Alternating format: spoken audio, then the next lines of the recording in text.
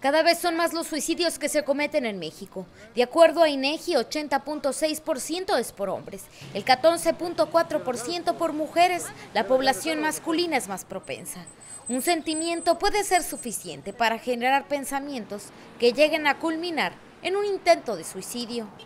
El envejecimiento, una enfermedad, una relación fallida o la falta de empleo son motivos suficientes para que se genere una depresión.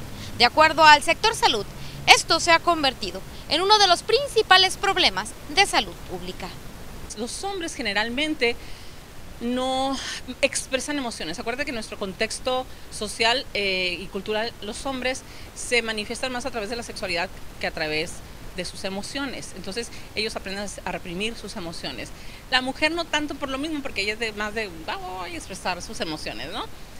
Pero ¿qué pasa con un hombre si hace eso? Ay, pues es débil, es... Eh, Baja California se ubica entre las entidades con más bajo índice de suicidios.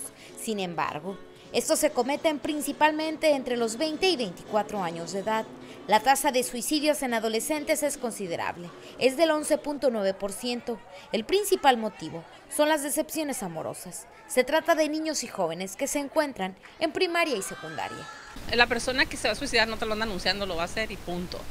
Eh, pero sabes que eh, sucede mucho en los adolescentes, sobre todo los hombres, por decepciones amorosas muchas veces, en los hombres maduros por cuestiones financieras.